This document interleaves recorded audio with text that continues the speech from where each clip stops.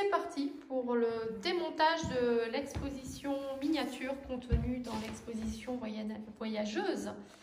Alors on, commence par enlever eh bien le, public. Hein. Le public, hop, on le remet dans, sa, dans son compartiment dédié hein, au public. Voilà. On enchaîne avec euh, les cubes d'activité, normalement qui sont au nombre de 9, hein, mais c'était vraiment pour vous montrer le, principe. On continue par la peau de camion, la peau de camion. Hop, donc les 7 parties qu'on range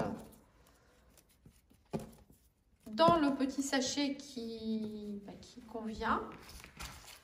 Hop là,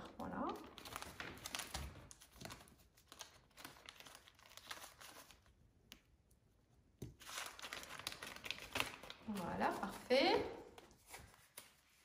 On continue donc par enlever bien les œuvres, on les démonte. On fait bien attention d'enlever la pâte autofixante qu'on range dans le petit sachet. Hop là, pour la prochaine fois.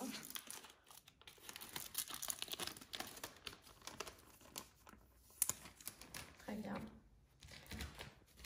On range bien sûr les, bien les œuvres, on les remet dans, leur paquet.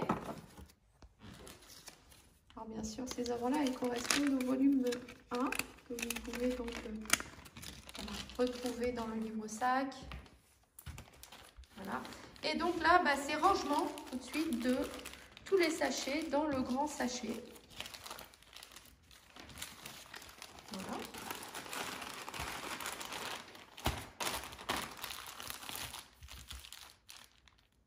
Très bien. Donc là, du coup, on va commencer par la planche 6. On met la 5 par-dessus, 4, 3. Les deux planches numéro 2, on termine par la 1.